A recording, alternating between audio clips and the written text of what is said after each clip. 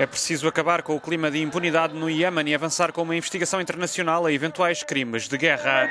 A mensagem vem das mais altas esferas das Nações Unidas, depois do raio aéreo atribuído à coligação liderada pela Arábia Saudita, que fez 140 mortos em Sanaa. Enquanto na capital iemenita eram enterradas vítimas do ataque em Nova Iorque, o secretário-geral da ONU afirmava que o Conselho dos Direitos Humanos deve conduzir um inquérito completo no Iêmen. Ban Ki-moon disse que o bombardeamento de sábado constituiu um ataque sem piedade contra civis e uma violação ultrajante das leis humanitárias internacionais.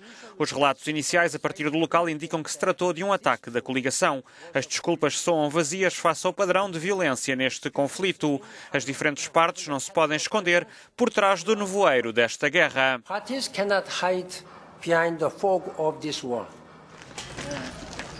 O coordenador humanitário da ONU para o Iêmen, Jamie McGoldrick, visitou esta segunda-feira o local do ataque que contou entre as vítimas mortais com figuras políticas, responsáveis militares e um grande número de civis e que fez também cerca de meia centena de feridos.